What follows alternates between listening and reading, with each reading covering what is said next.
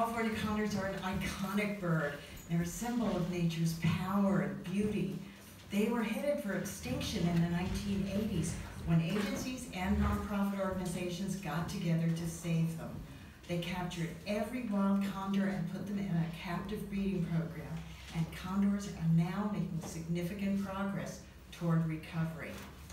The effort put into their recovery is a testament to the fact that we can overcome obstacles and protect the earth. Even when extinction seems imminent, we can work together to save the world. Greenspace is working to protect the landscape and the entire ecosystem in which condors make their home. Joe Burnett, our speaker today, is a representative. He's a wildlife biologist from Ventana Wildlife Society, another nonprofit working to save the condors.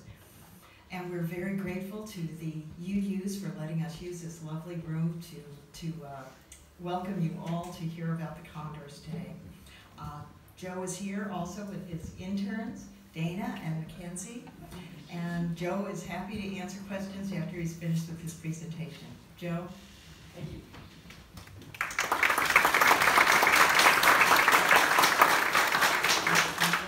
That's supposed to come up on the screen? I just want to make sure.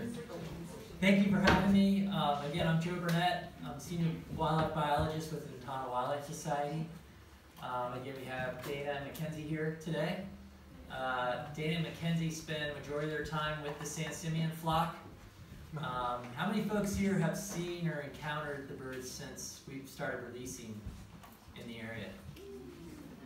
Wow, that's awesome.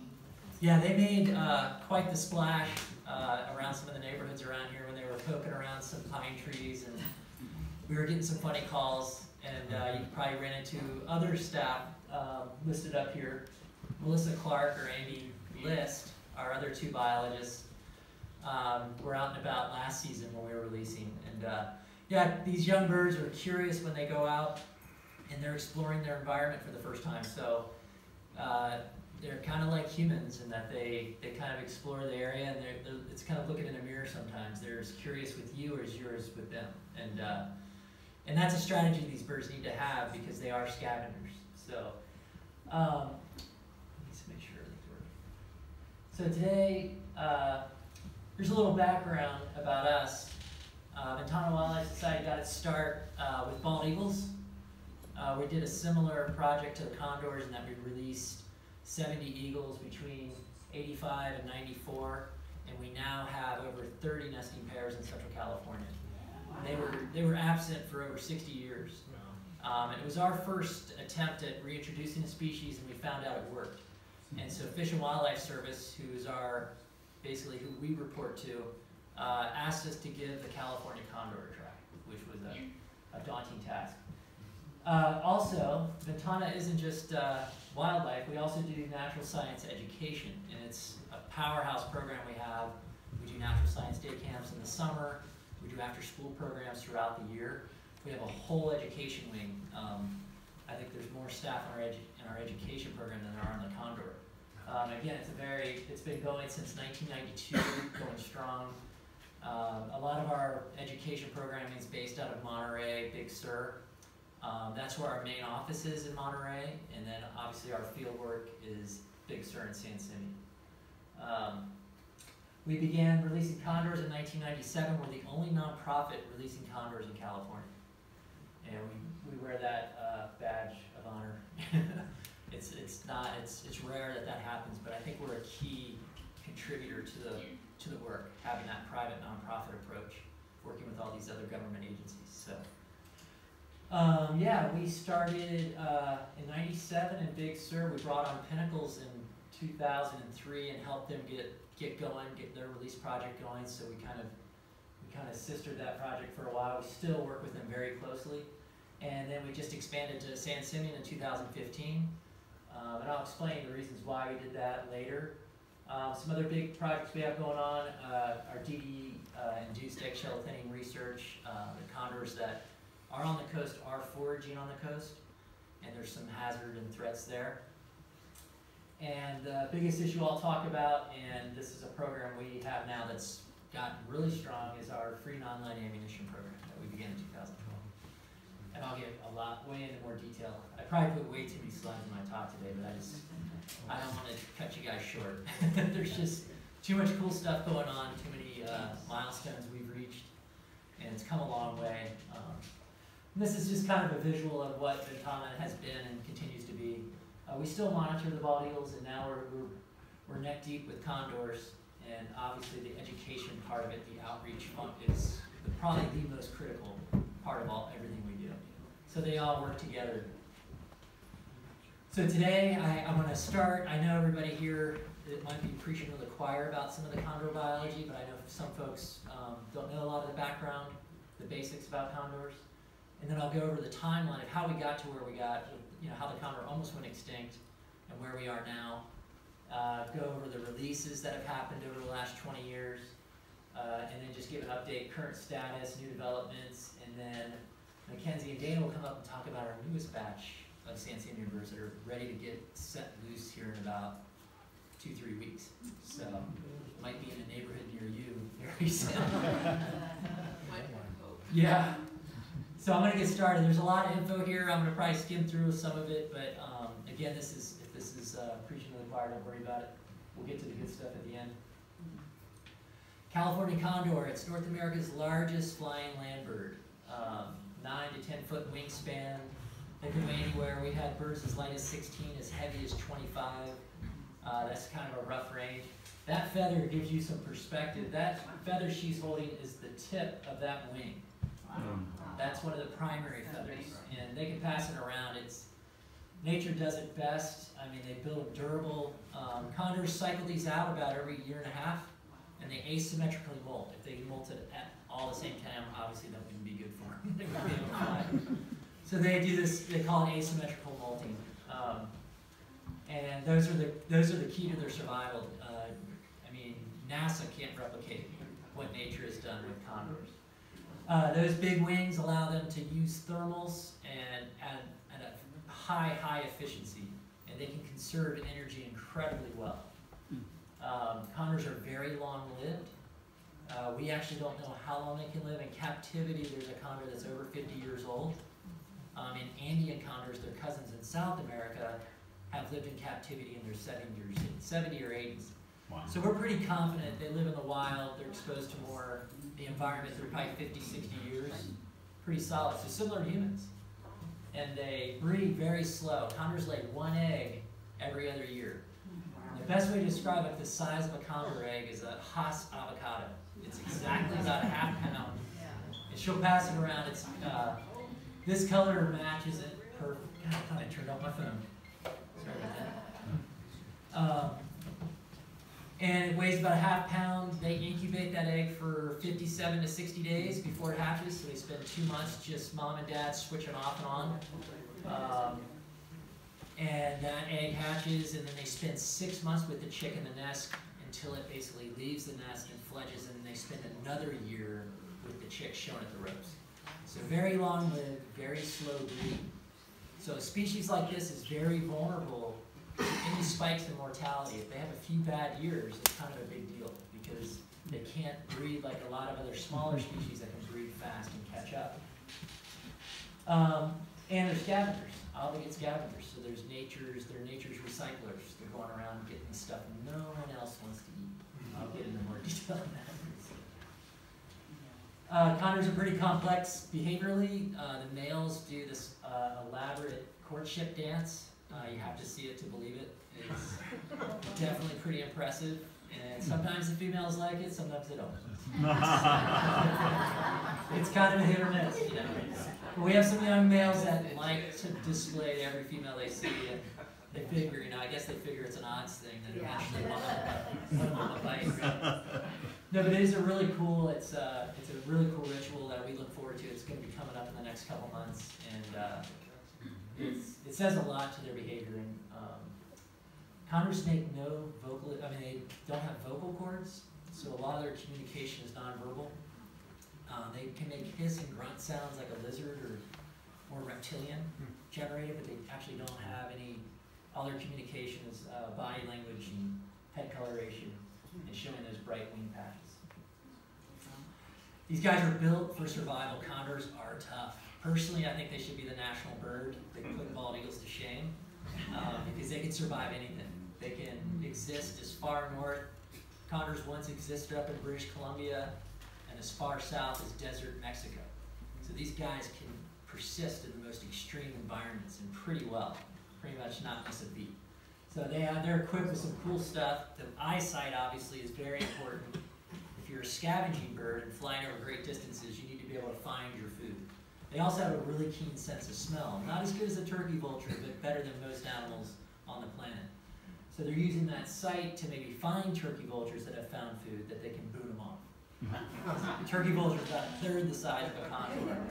So the turkey vultures are cool though because they can let the condors feed and then they can come back and feed. They're on, we call it on vulture time. You know, they're just kind of just cruising around. Uh, condors have a large wingspan with those beautiful white underwing patches. That's probably the most key identification mark when you're out seeing them in the wild. More prominent on the adults, but you can see it's almost powder white, and it's really obvious when you see them out flying around. And the tag up there helps too. Uh, but those large wingspans, just the amazing ability to conserve energy. They can lock those wings, they're nature's perfect glider, they can soar all day, just exert. You're not gonna see them flapping a lot. That's, that's a bad pattern for them to get into because they're gonna use a lot. You see younger birds doing that, but the adults are dialed in. They will, they will not flap if they don't have to. The crop. This is basically the, their uh, condor's natural storage pouch for food. They can put up to three, four pounds of meat in there, rotting meat. And they can go. We've had condors go easily three weeks to four weeks without feeding that we know of. So they're designed if they need to, if they get caught in some of these big coastal storms that come in, and they never get a window out to feed, they can persist on that food and that crop for weeks. It's a really cool survival strategy. Sharp beak. If you're feeding on dead stuff along the coast from whales to sea lions, you need a sharp beak to cut through the thick hide. In inland, they're feeding on cattle, deer, elk, anything. They're going for the megafauna. They're going for the big stuff. But they will also won't pass up a squirrel either. So they're pretty opportunistic. But condors, in their role, their niche in the scavenger world is to get into those big carcasses and open them up. Because you figure a turkey vulture shows up, it can't get in there, it's not going to get anything. So just, they have a symbiotic relationship with condors. Condors show up, kick them off, but that condors open up that whole carcass. And the turkey vultures can come in later and go into the places where condors couldn't get to. So it's a really cool thing to watch. Big feet. Um, their feet actually aren't white. They're uh, pink like their crop. Anybody tell me why their feet are white? They urinate on their own feet. Yeah, they poop on their legs. the other way to say it. They call it urohidrosis, which I think coolest words. if there were any kids in the audience, that that'd be their lesson of the day. Remember what urohidrosis. But they also do it to cool off, to help thermoregulate body temperature. Because if they're in a hot, hot place, it's a great way for them to cool down. I don't recommend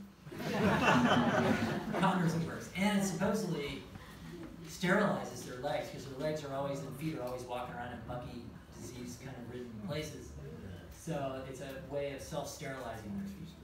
And their talons are not talons; they're more like toes. They can still grip a perch and grab onto a tree, but they're not designed to kill prey like like you see the Freddy Krueger style hmm. piercing of a talons of a golden eagle or a bald eagle. Condors are really designed for walking and for gripping perches and for anchoring against when they rip with their beaks. They have incredibly strong neck muscles. Hmm. So when we handle them to put tags on, the first thing I we teach these guys is watch out for the beak and watch out for their feet because if they get leverage off those feet, then they can get their beak free, and then they start rendering flesh from us. So that's that's the business end of the bird. So which one is a condor? She got it. They're both condors. The one on the right is an adult, that beautiful, brilliant colored head there. And then the fluffy, darker head one on the left is a recently fledged bird. This bird doesn't even have tags on it yet. And uh, yeah, it's because we get calls a lot. People, oh, I saw a condor, but it had a dark head. And it's like, oh, they, you know, the juveniles will have a dark head. They don't get the uh, brilliant colored head there until they hit about five years old, and then they begin breeding between six and eight years old. So again, long lived. I mean, they have to survive six to eight years even to start producing their own young. So it's, a, it's quite a um, thing. So what do they eat? This is the photo. This is definitely the. It's little graphic, but it is what they do. You know, condors are the cleaner cleaner uppers of the animal world. And uh, you know, basically, you have a carcass maybe on a ranch that's diseased or maybe picked up a disease. If a condor, a group of condors come in and feed on it, they are in a sense clean up, ridding that carcass of disease. What goes in gets pulverized in their digestive tract, which is their digestive system has a pH that can melt nails. You know, um, you ever see that? It's I always tell people it's like when you put a nail in a, a glass of Coke and the next day it's dissolved. That's what condors do. I mean, they have a they have an iron gut and it's and it's there for a reason. You know, naturally to kind of help recycle out some of these bad things that come along. And again, they digest some of the most wretched naturally occurring biotoxins, E. coli's, uh, botulisms, all sorts of stuff. So they, they have a really good role. I love this farce.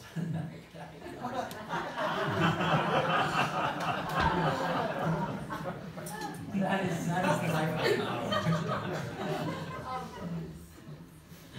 So how do condors communicate? Out, yeah. How do condors communicate? Out in the field, um, again, I told you they don't vocalize, but in the field we refer to them as flying primates. They're controlled by a really strict pecking order, um, a very strict hierarchy. So if you're at the top of the hierarchy, it's great. If you're at the bottom of the hierarchy, you're scrapping for survival. And every bird starts at the bottom and works their way up. So your, whether what your genetics are, what your attitude is, that's going to determine how, how far you go up. Once on the brink of extinction, so pretty much, you know, I mean, I always tie it with the gold rush. You know, there was just the Western boom, and people came out in droves, and anything that got in their way got wiped out. Whether it was grizzly bears, you know, especially in California with the gold rush, um, uh, buffalo, you know, a lot of species of birds just were disappearing, were just decimated. And the same for the condor, they were hunted for sport. Um, they were indirectly poisoned as part of grizzly bear poisoning campaigns, which were rampant because the grizzly bears were taking the cattle, which were taking the hides that they depended, all the settlers were depending on. Um, and just the loss of natural foods, everything was being displaced. Um, the fur trade completely wiped out the food sources on the coast. So they had the rug pulled out from under them there. And then you add to it the poisoning, and then you add to it the inland, the native ungulates were being replaced by cattle and sheep and everything else. So they, they were, it was a very short period, and it was a huge disruption. And again, you got this long-lived, slow-breeding species that basically had the rug pulled out from under. They, they got wiped out just by in numbers. You know, Lewis and Clark found them along the Columbia River in the early 1800s, and we estimate by the early 1900s they were restricted to Central and Southern California, and they just got hammered. And unfortunately, the data from those early explorers is very anecdotal. It was just written in their diaries. We see these large birds feeding in the coast of Monterey. This was in 1600. You know, these huge birds feeding on these huge whales. So it wasn't very scientific. Lewis and Clark were the first to really collect scientific data on condors. They collect, actually collected four specimens, and so we know they were there. And to know that they were that far up in the northwest, we know their population must have been in the thousands. Um, so by the time these guys got done, you know, we're in this maybe 60, you know, so it's pretty scary. And that's when in 1967 they estimated roughly there were 50, 60 condors left. They listed them endangered. Um, they were one of the earliest species listed as endangered. And by 1987, you know, they had kicked in efforts to save the species. It was very controversial. And they captured the last free-flying wild condor in 1987. And so all the condors that existed were in captivity and there were only 27 left. Pretty scary. That's as close as you can get to extinction. So the, the part you start thinking about is of those 27, how much how many genetics are you know how are the genetics? Is it just one male and that represents everybody? You know, so a lot of species bottleneck like that, and some they actually don't can't you can save them, but the genetics are lost. So um, fortunately, we got very we hit the lottery with condors. Of those 27, 14 were unique. You know, basically they came from different tribes around. So we got very lucky. When I talked to the geneticist at Smithsonian Institute that oversees our condor genetics, she describes it as that. She goes, you guys hit the lottery. She works with species that did the same thing, and they had one founder. And she said, that's pretty scary. So they strategically paired these birds in the zoo to optimize genetics, and they were able to get the species um, rolling again. Uh, and then by the late 80s, they had birds ready for release. They had the species kind of the in captivity. The species was kind of s- stabilized, and they said, "Okay, let's start getting birds back out." Oops, sorry about that. Can everybody hear me? Okay? Yeah, just holler. So when and where did the releases uh, start? Uh, you know, there we go. Nin- 1991, the captive flock clock was at 100. They said, let's start getting some of these young guys out. Obviously, the first place they went was where the last bird was captured, Southern California. That was the last stronghold of the species. Um, Arizona, I have highlighted in blue, and Baja. Uh, they're not part of the endangered species recovery plan. They're experimental populations, but they still contribute to the overall recovery. So the ones in black are the ones that are that are uh, putting towards the actual California recovery of condors in California and getting them off the endangered species list. So that would be us. We came on board in 1997. Uh, we brought Pinnacles on board and partnered with them in 2003. And then 2015, we expanded our releases down the coast, down here to San Simeon. And here's a map. This is kind of the best way to look at it. You can see Arizona over there, the experimental population. And then you see the core of releases that are happening in California there. And those are kind of all Big Sur, San Simeon, Pinnacles, and then Southern California. And that's to reestablish that historic range that the condors once occupied in Central and Southern California. And then, of course, Baja is a partnership with Mexico and to get them involved. And at one day, we hope that all three will intersect. All these three populations will come together. we're, we're ways out from that, but um, the Baja birds have actually come up into California, so it's pretty cool. And Arizona's have come closer over into Nevada in that area. So here's a, a zoom in of California. You can see where the different release sites are. There's Hopper Mountain. There's Baker. You see guys see where Bakersfield, I-5, 101. There's San Simeon, Big Sur, Pinnacles. Um, Howard Condors released to the wild. So when I started in '96, they didn't really know how to do it. Um, actually, Dana's father was one of the earliest biologists to work with California condors, Mike Wallace. I had to call him there. she has a good pedigree there. Her dad developed a lot of the techniques we have for releasing. So when I started, he was he was refining a lot of the techniques, and we were still learning. And he was really encouraging us to try different stuff. And so we came up with the idea of these large holding pens, big bird, very large, but you just don't want to let them out. You want to give them a little bit of time to acclimate because they're with their mom and dad after they leave the nest for a year. So how can we mimic that? You know, so we would get the birds from captivity about six months, and we'd hold them for up to a year, letting them acclimate, letting them get used to uh, being a condor, building up their confidence. And then the other thing we did was added, brought up an adult as a role model, just to kind of because leaving condors to their own devices, young condors their own devices in a flight pen is kind of like Lord of the Flies. It's just like when you leave a group of kids unmonitored in a room, it goes it goes crazy pretty quick. Condors are no different. So having that adult role model is really really important. And you can see the different pen styles. On the left is Pinnacles. On the right is our Big Sur pen. It's another angle the Big Sur pen. You can see older birds that have been released come back and see the new guys that are about to get released. You can see them milling around inside the net. And that was something that was really cool. After we started releasing, we had the benefit of older birds coming back and helping teach the younger ones. So it was kind of a domino effect in terms of the birds started helping us. You know, the flock started strengthening itself. And here's the San Simeon pen, a little smaller. Um, we now, the birds come up to us at an older age. The zoos are able to hold them longer and prepare them. So we have to prepare them less in the wild. So they're socially more ready to go. And what we do is just acclimate them to the site. So they're getting to us, I want us out a year and a half.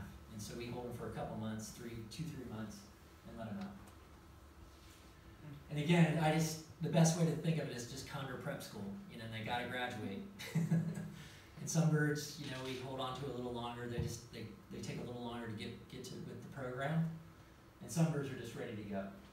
And uh, And again, they're just curious. They're, they're kind of developing a pecking order within their little group, which is really cool to watch. And uh, Dana and Mackenzie can kind of tell us about the current cohort, how that pecking order is shaking out.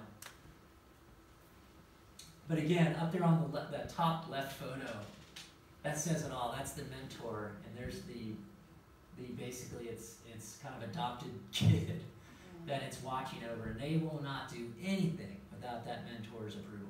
Mm-hmm. So you, you realize how important that is, and it's the same when we see these wild chicks with their parents. They really need that tutelage. They definitely need that that mentoring.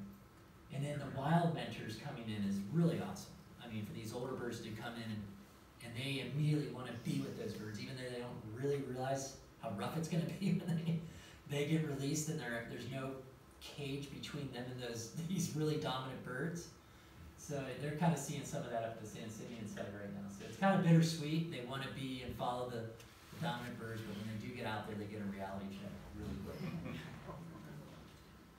And then we release, you know, the birds graduate, so to speak, from the prep school and out they go. And, you know, and that's, that's the hardest part for us because you no longer have any control. They fly where they want, they go where they want, and, uh, it's, uh, so we lean on technology to help us there. What, you know, what happens to these birds after we let them go? Where do they go? So you gotta have some tools of the trade. And the big things we're trying to do are confirm whether they live or live or die, survive or die. Where do they go? Where what trees are they using? What places do they go feed? And where are they nesting? I mean, those are the three biggies uh, for the condor. And so we have some tools that we use. We use these colored ID tags, and she can pass. They'll pass those around. And the colors uh, coincide with age, so the different age groups of the birds. And the uh, so the and the number is actually a stud book number assigned by the zoo, and it's it's a basically a one day we won't have to do that, but right now there's so few, we still monitor it. And this the color tags are for us, the biologists. When we see one far away, we look through a scope and go, oh, we got a red tag. We know it's one of a few birds with red tags, and you can pick out the number and read the number. So it's really helpful to us to find out what individuals are doing what. And of course, the radio tag. These have a range of about 20 to 40 miles. So those photos earlier showed uh, people around Cambria have probably seen us out there with our radio antennas. It looks like those old television antennas. The, we call them Yagis. And uh, you, good chance after we release the birds, you'll see Dana and Mackenzie cruise around town with us. so if you see them, go up and say hi. But it's how we track these radio tags. So that a radio tag emits a signal, and they last about two, three years in the wild. And that signal, echo basically, the stronger the signal is, is more where the direction of the bird is. It's pretty intuitive. And then in the last uh, 10 years, we uh, GPS technology has um, taken off, and that's the other tag going around. They're solar powered, and the GPS has pretty much revolutionized wildlife tracking. Um, whether it's condors, whales, great white sharks. Everyone's seen the Shark Week shows on Discovery Channel. They're chasing great whites around. Condors, no, nonetheless, and it's so much more efficient. We save so much more time with the GPS. They are more expensive, but at the end of the day, it gives you the, the highest quality of data, and you can manage the species more from afar, which is what we prefer. When you're radio tracking and visually seeing them, they're seeing you too. So it's nice the GPS gives a peace of mind. All the birds released at San Simeon always start with the GPS on. Because that way we're not just running around in circles. We can look at the GPS data and go, oh, the bird's just, he's fine, he's moving around, he's just making his way. Um, are they finding enough food? Yes. The condors are really doing well on the coast. Um, the California sea lions are their favorite food. You can see here, they can render one pretty quickly. A group of 10, 15 condors can whittle down, you know, two, 300 pound sea lion in a, in a, sometimes they really want it in a few hours, but sometimes it'll take a couple days. And again, they're always fighting with the tide line, you know, because those carcasses come up and then they've got to kind of jump in on it and get in there. Um, and then the, the more exciting food items they find on the coast. Um, and it doesn't happen that often, but this is what you'll see a lot of times. These guys are out searching for food. Any of those rocky beaches could have something washed up on it. And that's a big stretch from Cambria up to Big Sur, you know, basically we call Big Sur all the way up to Carmel. And it's, there's just so much going on on there, so much marine life, so many areas where the birds hang out and find mm-hmm. food. And this is some of the more amazing sights. In 2006, this was the first time condors had been feeding, been seen feeding on a whale since Lewis and Clark saw them at the mouth of Columbia in the early 1800s. So it was a pretty cool moment. Birds had kind of disappeared, and the GPS showed us they were hanging on this very remote beach in Big Sur, and you had to, the only way to get to it was hiking to it. And we get out there, and this is what we found. We're like, no wonder they're out here. but it was scary. We didn't know where they were, but they been, they fed on this whale for about six months. So it, it became the party spot. you, any condor that was in the know was there.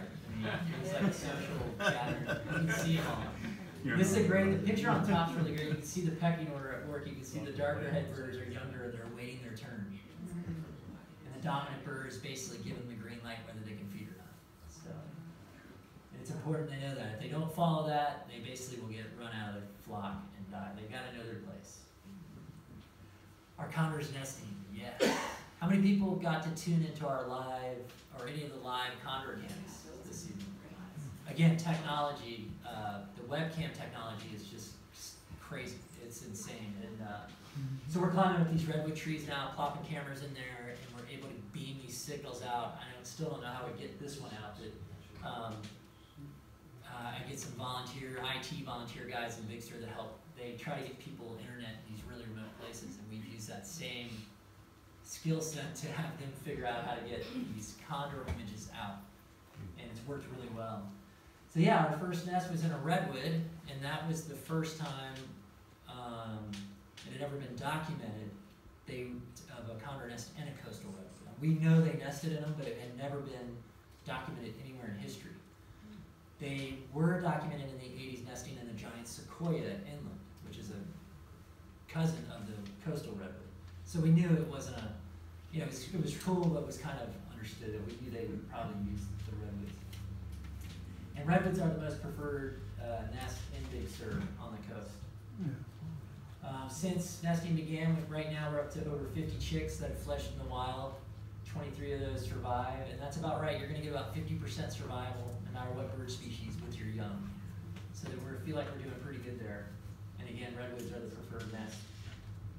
Oop, moment. This is a just great shot of the different nest cavities. Um, I like this shot because you can really see the burn scars. So these nests wouldn't be there unless those fires had hollowed them out and burned them. So in a way, condors again have another symbiotic relationship with fire and redwoods. They need fire, and the redwoods need fire to actually reproduce. And so that it's a really cool thing to see them utilizing these so heavily. And anybody see where that nest is? Mm-hmm. this is our most remote nest site. It's out in the middle of the Ventana Wilderness. But we took a helicopter to get to this one. There it is, right there. So this pair nested for the first time in 2008, and we had a big wildfire that busted out in 2008, the Basin Complex. Fire completely burned through. This is after the fire burned this whole grove. You can't see the lower 100 feet, but it's just charred black. And they had a chick in there, and it survived. We climbed up the tree expecting to recover a carcass of a chick, and we were greeted by a very feisty condor that was not happy to see us. It just survived a fire. It was, and so we aptly named that bird Phoenix. Phoenix is just nested this year and just fledged a chick. So things are coming really full circle for us. Uh, Condors nest caves too, or you know, as you go inland to pinnacles, the pairs that settle down over near pinnacles obviously are using caves. And again, it's a cavity. They're looking for a nice dry cavity spot. They don't build nests. They find a nice dry spot, and they, if anything, they groom a nest. They clean it up. And like this is a classic kind of sandstone cave. Um, it's way bigger than it looks. Like if, it, if I had a human perched on there, I can stand up in that cave. So hmm. just to give you a perspective of the how far are they flying? I mean, we have birds. This, this, we would only know this with the GPS. This is a GPS track that came back to us. and this was about a ten-day flight. And this bird covered six hundred fifty miles. It left Big Sur, went all the way to Southern California, that's just right above LA, hmm. in the mountains there, turned around, came back, blew by Big Sur, went all the way up to Livermore. Turned around, came back, went over to Pinnacles, and then finally made it back to Big Sur. So just, and that was just on, and that was younger you know, so that we know when they want it, they can, they can really big. I mean, it's pretty impressive. And it- again, the GPS data, it's showing us these, these really, which is really important, um, with wind turbine technology coming out. We're able to see and verify that thankfully condors stay well above the rotor heights of those but we, we're keeping a close eye on it. Obviously, you know, you gotta meet in the middle sometimes with some of these newer, cleaner technologies coming out. Um, but fortunately, like Soledad does have a couple wind turbines, and we've never, never seen them come within a thousand feet. Um, so they're obviously seeing them and staying high, and they go right over those to go to Pinnacles from Big Sur. So they're navigating, you can see how high up this bird was, and it made its way over to Pinnacles. Um, it's really been really, really valuable with us understanding how they feed, especially inland. We know on the coast how they've been feeding, but inland's really challenging. Um, they can go down and feed and be gone from a carcass by the time you get there. You just you don't know what happened. So the GPS is leaving, letting us know, oh, they did land and they were feeding in this farmer's field. And the first thing I think of is they're probably feeding on ground squirrels or varmints the ranchers shoot, you know, which is something ranchers do. There's not anything illegal about it, it's just something they do to depredate and, and uh, keep the, the ground squirrels down on the ranch. And this is when we started realizing, we started getting more and more data like this, we're like, oh my god, they're feeding on these var- these smaller carcasses way more than we think. And uh, it ties in later, here's a couple feeding events. And they were on the ground, ground level, just for extended periods. So the results of our releases to date, uh, we've released over hundred thirty-one, and currently we have fifty-six in Big Sur, we've released, um, fifty-nine over at Pinnacles, and sixteen over in San Simeon. Um, forty-one total have perished of those hundred thirty-one, and, um, we are at, so there's perspective, we were at twenty-seven and eighty-seven, we're now over two hundred ninety in the wild. And what's really cool is we have over hundred seventy in California with ninety of those in Central California. That's a real testament. Thirty-eight in Baja, eighty-two in Arizona in the experimental population, which is really cool. Um, but that's, you know, coming from the twenty-seven and the genetics are great. Um, we got them feeding on their own, we've got them doing all the right things. A lot of people felt like the birds were gonna forget how to do all that. So it was nice confirmation to get these birds released out there and let them do their thing. They know where to go. You know, they're they were out there for thousands of years. They know they know how to do it. So that's a real relief. So where are we in the recovery status? So I told you they're listed endangered. This is the criteria we need to downlist them. This is just to make them threatened. We don't even have a, uh, we don't even have criteria for completely delisting them. But these numbers would probably be in the thousands for that to happen. But right now, it's a sign of the times that we're actually looking at potentially downlisting. And we're not quite there yet, but we've hit two of the major. We've got, um, over hundred fifty birds in the wild and hundred fifty in cap, in captivity. And then we have over fifteen breeding pairs in the wild, and in captivity, we probably have forty to fifty pairs. So, we're well beyond the, um, we've hit, hit the mark big time on that. But the big one right here is this positive growth rate.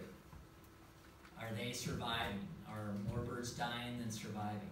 And we work with modelers at UC Santa Cruz and these other academia, and they run, they call them popula- population viability models, and they're really, um, the standard right now for assessing the, the strength of a population. And the models are clearly stating that we have a negative decline in our flock. And as biologists, we know what's causing it, and, um, this is the big one. So we know very clearly that this is the biggest threat to condor growth. And that's self, oh, sorry, that's self-sustainability check that we need to hit, that last benchmark. And this is the number one, uh, issue that's preventing condors from sustaining themselves. We monitor blood, we've been monitoring blood levels in condors since we started releasing. It's a really intensive process, but we usually let complement when we gotta switch the radio tags out or do some other maintenance on the birds. When we're in that moment, we'll take a blood sample and check it to see how high their leads are. Um, early in the program, we did a real intensive treatment. Any bird that had any lead in it, we would take them into the hospital. And it's just a really intensive treatment. Um, condors don't show clinical signs necessarily, even though they are poisoned. What we found, if they start to show clinical signs like this poor bird, they're pretty much on their way out. And so what the zoos do is try to give them a, a, a humane death and try to they try to save them, but um, on the you know I had a veterinarian here, she could explain it. But once they start to shut down, uh, it's kind of a re- unre- irreversible process. They've only been able to pull it off a couple times. It's just they their bodies basically start to cave in on themselves. So the resources needed to treat this one bird and give it a humane death are just lopsided with the rest of the effort we do. So we knew this is something we can't sustain. We cannot sustain uh, this level of resources, this level of treatment, if this flock's gonna make it. Um, and surgeries, I mean, eight, ten hour surgeries to save some of these birds, remove the lead from them. Um, full blood transfusions, I can't even tell you the amount of resources that LA Zoo, um, Oakland Zoo exert on, we bring them birds and they do these valiant efforts to save them, and they, end of the day, a majority aren't making it. So it's even, it's super heartbreaking, is, is what it comes down to. This is what it looks like. So this is a bird we captured, um, three eighteen, uh, he was nesting at pinnacles, he had raised a couple chicks. Uh, we caught him, and he was, cause he was acting really funny, he had dropped in the hierarchy, which is a real cue to us that, why is this dominant bird now at the end of the totem pole? So we caught him, and when we radiographed him, we saw this, that white object, which any metal shows up as white on a, on a radiograph. And when we pulled it out, we sent it up to Fish and Wildlife to their forensic lab, and they identified it as a 22 short rifle round, which is the most common rifle round used for plinking squirrels, that sort of thing. You know, the it's a go-to for any rancher um, and any hunter out there going to plant. And it confirmed what we saw in the GPS data, that we saw these birds going around and feeding on these varmints and it made us realize, wow, they're picking up a lot of lead from these feeding events. Not necessarily on the coast. You know, I, guess you know it's it's not.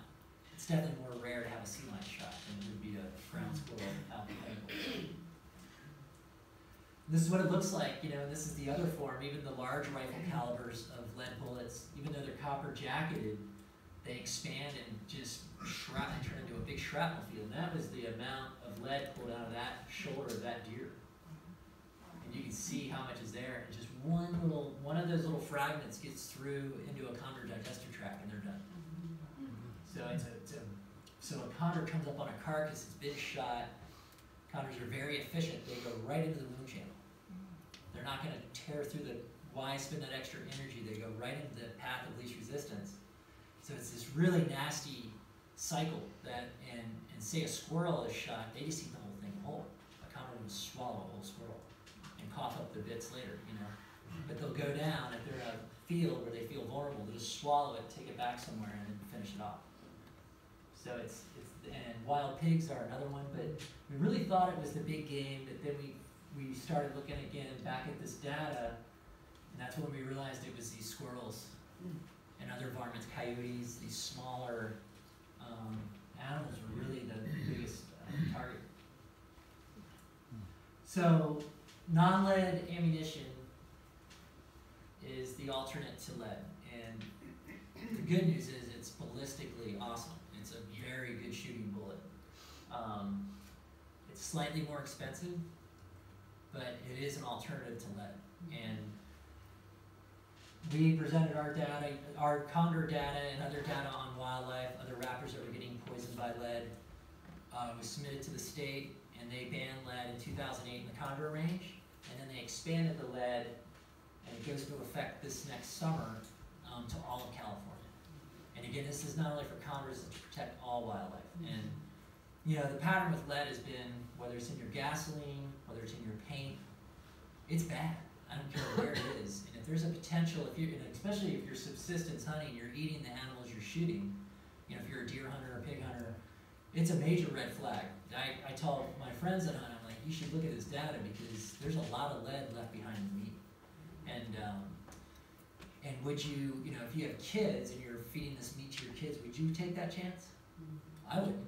I wouldn't take that chance with my kids that I could potentially expose them to lead. So again, it's, I think it's just a, um, the good news is there's a very, the copper bullets were made for hunters. They were, this wasn't a in response to thing. These copper bullets have been out there because they were thought to be ballistically superior. So we think as availability in California goes up and, and supply and demand shifts, that the price will come down. And even right now, some calibers are already the same, some of the more common calibers.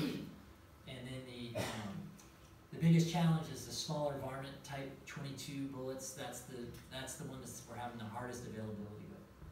So we, in response, knowing that getting hunters to switch and ranchers to switch to non-lead was the biggest thing we could do to help conquer the lead issue, we initiated a, uh, free non-lead program. And since two thousand twelve, we've, um, given out over a quarter million in free non-lead to hunters in California. That basically equates to four thousand boxes of free non-lead ammo. There's no better way to, cause a lot of these guys, you, you go to hand on the bullets, they wanna get this political debate, I'm like, this isn't politi- we're like, just, these are free bullets for you to use, they're ballistically proven. You, whether you wanna do it for the right reasons or not, you know, and basically, cause a lot of them were on the defensive, they thought we were trying to take their hunting rights away.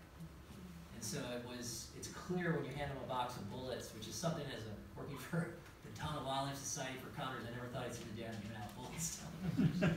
It's just weird, you know, but you know, you get down to brass tacks, you know that's what it takes.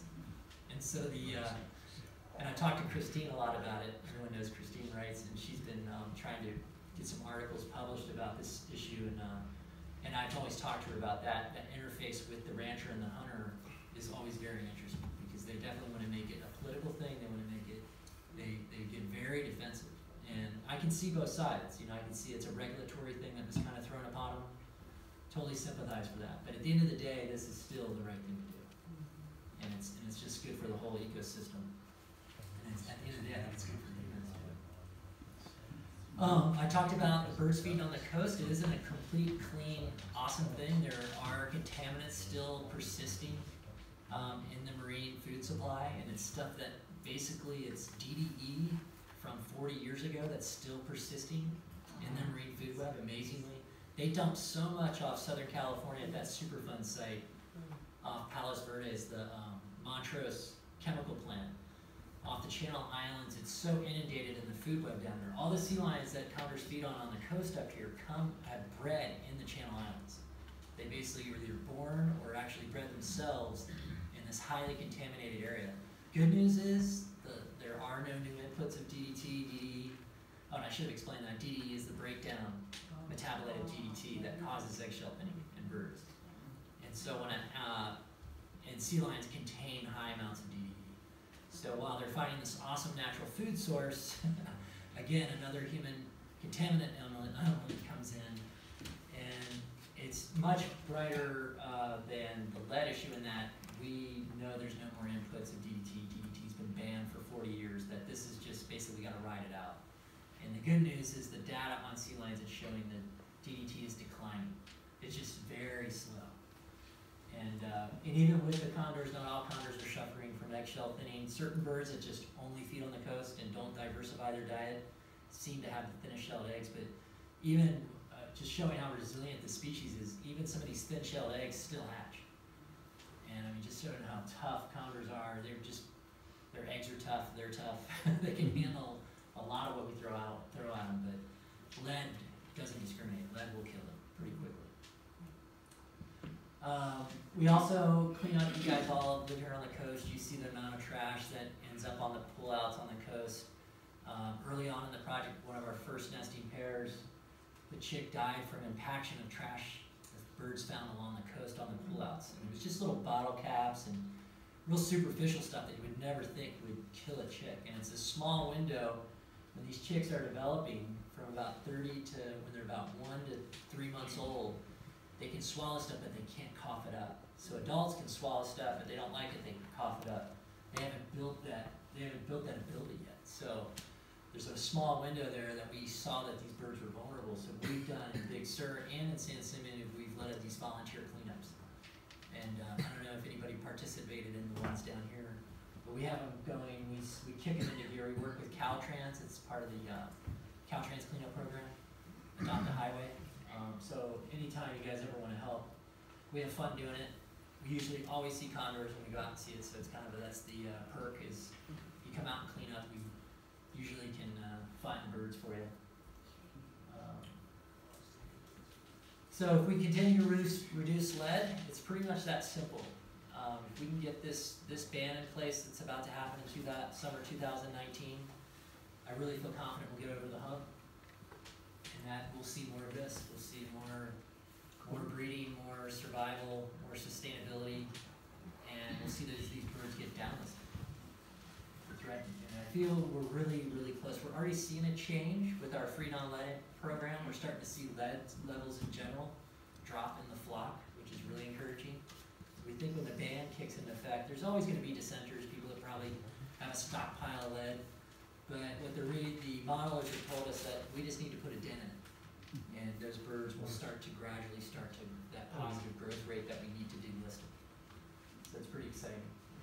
So our live streaming, uh, Condor Cam was a hit, uh, every, Pasquale was our, our chick, and it was named by two girls that were his number one fans. And they wrote this adorable letter, it was two sisters writing the letter together, she was, uh, Madeline was six and the older sister was, um, nine, and they wrote, they wrote this banter back and forth in the letter, and at the end, they wanted to name the bird Pasquale because he was born right near Easter. Pasquale in French, uh, or I forget, that meaning is of Easter. So it was a really cool, so we, we, we had no other choice, we had to, we had to name it Pasquale. It could end up being a girl, we don't know the actual gender yet of Pasquale, but Pasquale fledged, uh, we, the live cam caught it happening. Um, actually documented him leaving the nest and, uh, he, she leaving the nest. And last seen a couple weeks ago, just on a ridge right above the nest with mom and dad being fed and he's, the pattern is they'll just follow them further and further away from the nest site. Again, mom and dad will be with that chick for the next year, showing it the ropes, and they kind of introduce it to the flock, because there's some ruffians in the flock that they definitely have to be escorted in, they're, they're, they're, it's a good thing if they're in the presence of mom and dad. Um, and we just updated our website, so these are the two sites we, we partnered, this was huge, with explore.org for our cam, they caught wind of our cam and said, we wanna put it on our site, they're a nonprofit as well, but they have a huge audience. Um, our cam is right next to the NASA's International Space Station cam. It's pretty awesome. And then they have these cams of grizzly bears feeding in Alaska, so it's a real honor to get picked up by these guys. And they gave us a grant to um, help keep our cams going, so it's it's a win-win kind of situation.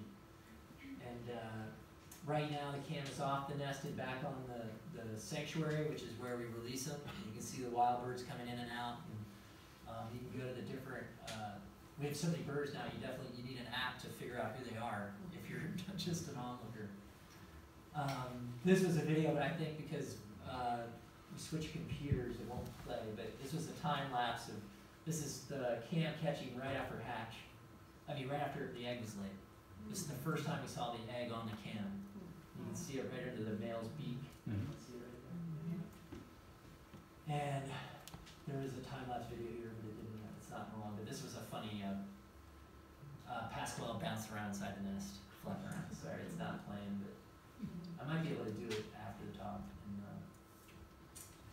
So, let's get into San Simeon, and Dana and Mackenzie can get in here too and start helping, but we like San Simeon, obviously, the birds were utilizing most of Big Sur, but they was, they were jumping over to Pinnacles and kind of bypassing San Simeon. Hmm. And San Simeon has the elephant seal colony down here that is huge, and we know that could be a potential awesome long-term food source. And elephant seals are less contaminated hmm. than sea lions, so that's another bonus. Um, so San Simeon is very attractive, and we know over time the birds would eventually find it down here anyway. Hmm. But we had an opportunity private landowner to, um, to put a little release site down here and get them, kind of grease the wheels a little bit and get the birds coming down. Here. there's something about when you release a, release birds in an area, they become site tenacious. They want to come back to that specific area, whether to nest or to um, spend basically spend the rest of their life. And but yeah, the elephant seals were a big thing. Just large tracts. You know, you got all of Hearst Ranch. You've got a lot of protected, open, beautiful. Obviously, you guys know beautiful landscape. I mean, it's awesome condor country, and very low hunting pressure compared to maybe Pinnacles, some of these areas inland where their hunting's really rampant. Um, so we figure it's got lower lead exposure. So we've released 16 condors so far, and um, 13 of those survive and have merged with Big Sur and Pinnacles flocks. So they're all one flock, you know, San Simeon, Big Sur, Pinnacles, they all mix now. But what's really cool is these, the San Simeon flock are bringing other birds back down here. And um, we have the six condors that are awaiting release, and they're gonna talk about them in a little bit. Um, and then the big question is, have they started nesting yet? And what, what was, what happened, which kind of caught us off guard, is when we started releasing in two thousand fifteen, it's back to the hierarchy. These birds from Big Sur, this up and coming young pair who weren't dominant enough to nest in Big Sur, came down here and went, whoa, there's some young birds down here. We should set up camp here where we can dominate. and they did. So it was really, it wasn't planned, but it was really cool to see. It was another learning lesson about the hierarchy that these were two birds that weren't even released down here, but the presence of young birds in an area um, will draw uh, birds that are kind of up and comers to come down. And they nested. Uh, they attempted twice. Uh, the first time they failed in the egg stage, we don't know. We we never could figure out unless we, get, we couldn't get to this cave that was on private property. Um, and the second time, we're fairly confident they had a chick and it died somewhere along the way. And again, this is normal for long-lived birds to kind of fail the first couple times you give it a go. But the coolest part was it was the first attempt in SLO County in 60 years. So it kind of broke the threshold. And That was kind of one of our big goals for drawing the birds down into San Simeon, opening them up, and even getting them to go a little further south over to Huff's Hole and uh, Black Mountain in that area. Really great habit. Those are all historical condor areas. And the spot they picked here was a historical, supposedly an area where they used to collect condor eggs. So we're pretty sure they probably picked an old condor cave that was once used the historical. Um, unfortunately, the female perished last summer. Um, and the, but the good news is the male is on the lookout for another mate, and he's sticking around. He was just there the other day, right, when we were up there. And uh, so the male is still around, and we're, we don't know who he's going to pair with, but there's a lot of bachelor females out there. So we're coming into nest season. Nest season kicks in in around December, January, so we'll, we'll have a better idea who he's looking at, and hopefully they go back to that same nest site. We assume they will, so it's pretty exciting.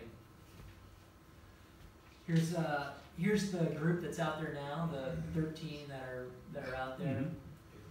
And again, you can look these birds all up on our mycondor site, the mycondor.org, to get all their personalities. But we've used different themes to name them. Um, we went with the famous airplanes, famous aviators, like we got Orville and Wilbur Wright up there. we got Apollo, uh, and then we went with Greek gods. We got Poseidon in there, and then a bird named 711. Where I, we gotta call him Big Gulp. I mean, come on. so we have fun with it. Um, and then the last round there at the bottom was a Game of Thrones theme going on. so these guys have fun with it, and they've uh, they've got a theme going for this next batch, which is pretty funny.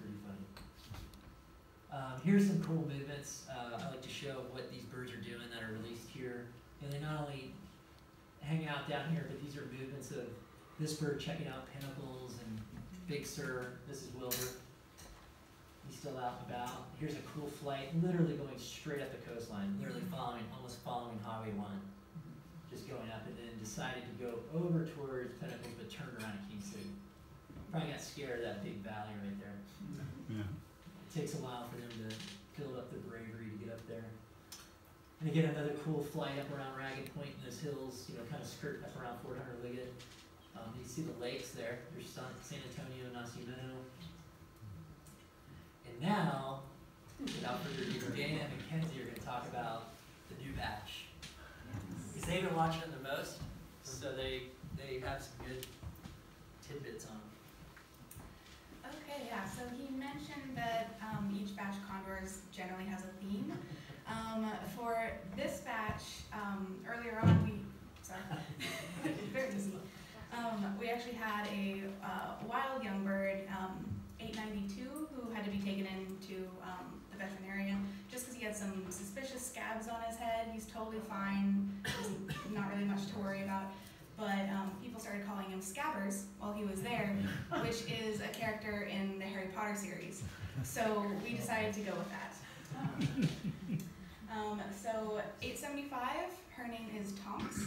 Um, she's very energetic. She likes bouncing from perch to perch. She's not very coordinated. I've seen her fall off the perch multiple times, um, run into a couple walls when she gets very excited. Um, but she's pretty good natured, um, kind of like in the middle of the hierarchy. She doesn't really mess with too many people, but they also don't seem to mess with her all that much. Um, 881 is Minerva after Minerva McGonagall. Um, if anyone's read the books or watched the movies, um, she is relatively high in the hierarchy. She's pretty calm. Usually doesn't uh, pick on anyone, but she doesn't let anyone pick on her either. Um, she's a little sassy, and uh, like the one bird that she seems to hang out the most with is we've sort of decided probably the highest in the hierarchy. Um, she'll be coming up later on. She's 889. Um, 888 is Cedric. Um, he's kind of right in the middle. We named him after Cedric Diggory, who, um, if anyone's read the books, he's a Hufflepuff. They're known for, uh, like, um, essentially being good friends with everyone, like hardworking, does well cooperating with others. Um, he doesn't really mess with anyone, and no one messes with him. He's kind of just in his little corner and does his own thing, but it seems to work for him. Alright, so um, Narcissa, as uh, David mentioned, is our 889. She is the queen of the of the birds, and she's named after Narcissa, the very prominent mother of the Malfoy family. So she is like the prominent mother of all of these guys. She like definitely bosses all of the birds around, and you can always see her on, sitting at her favorite place, which is on the scale on the left hand uh, picture. You can see her sitting on her perch, the scale. and then It's the highest perch. it's the, yes, it's the highest perch. And then um, 890 is our little uh, kind of um, uh, well, as his name uh, is, if you have ever again read the books or watched the movies, um, there's this owl character in um, the stories, and he's known for just flying into the windows all the time. He's not very coordinated at all, and so his name is Pigwidgeon, and uh, he's very excitable. He sprints around everywhere, and he thinks he's also stronger than. Uh, most of the other birds as well. And so he, when there's turkey vultures around, he'll actually rush them um, and fly at them at the pen and stuff. yes. And then uh, finally we have Sirius Black. He's our bad boy uh, bird of the um, of the crew, and he's named after the very uh, heartthrob, sort of mysterious character in the Harry Potter series. Uh, yeah, so he basically. Um, is uh, like an antagonizer of the many, uh, many of the other condors as well as the older birds that come in to check out on the flight. He will actually be seen rushing them as well as the other turkey vultures. And then um, when he's not um, up to his little games, he can actually be uh, seen canoodling with some of the other birds. He's very much a lady pleaser, so yes. and those are uh, the new uh, birds to look out for this year. Yeah, and uh, like I, at my other talks too, I, people have always asked, what do, what do you do if you have a condor show up? And you know, so we, we we're hopeful that all these birds will do well, but they do do some odd things sometimes. You know, they come down in a neighborhood and will hang out for a few days, and you know, and your first, you obviously get concerned. We get concerned, but again, you know, looking on the longer picture of these birds, it's usually nothing. They're just checking it out, but if you do see them take that next step, like say they're in a tree and now they're inside your that's probably not. Or if they're trying to get in your house, that would not be. a good- It happens on a rare occasion, we get a, we get a, a misfit bird, we don't know why, but every once in a while you get one that's not quite all there. And, uh, that's not that they're, they're doomed for captivity the rest of their life, we usually just bring them in and hold them for a little bit, hit the reset button, and give them another shot. Um, And there's usually more at play than what you can see. They